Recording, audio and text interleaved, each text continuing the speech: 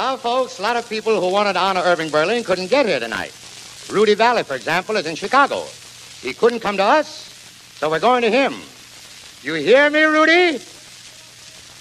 Take it away, Chicago! Yes, I hear you, Al Jolson.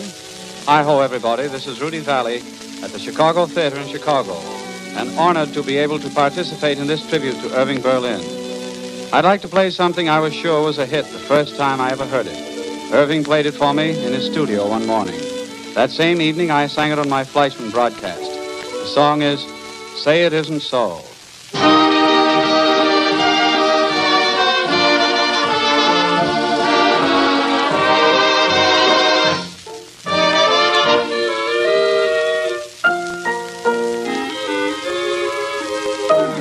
You can't stop people from talking, and they're talking, I hear. And the things they're saying fill my heart with fear. Now I could never believe them when they say you're untrue. I know that they're mistaken, still I want to hear it from you. Say it isn't so. It isn't so. Everyone is saying you don't love me. Say it isn't so.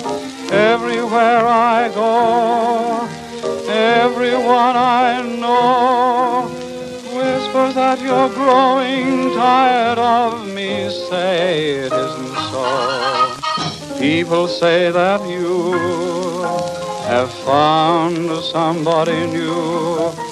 And it won't be long before you leave me. Say it isn't true.